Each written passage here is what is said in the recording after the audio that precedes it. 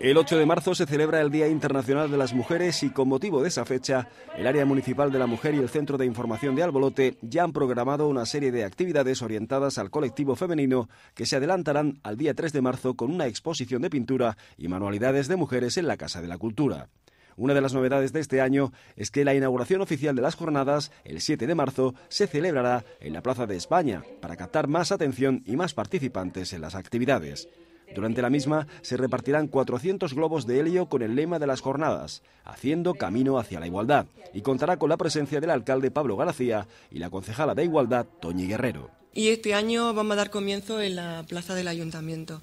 Queríamos también darle más colorido y llamar la atención, como decimos que el Día Internacional de las Mujeres, y queremos que se note en el municipio, que se note en el pueblo, ¿no?